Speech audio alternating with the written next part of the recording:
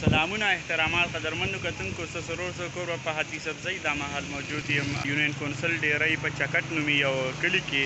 هلته موږ دلته جلسې لپاره روان یو بشام چې نن وزیر اعظم پاکستان میا محمد شهباز شریف صاحب را روان دی هغه جلسې ته روان یو دا مهال موږ دلته په یو سي ډیری د چکټ نومي یو کلي کې موجود یو موږ دلته مونځ کوو او اوس به روانېږو نو د سیلګرۍ زموږ لړۍ دغه کړۍ پای ته رسي ورکړئ خپل کور به پاتې سړي ته اجازه په ویل مو سپارم کور مودان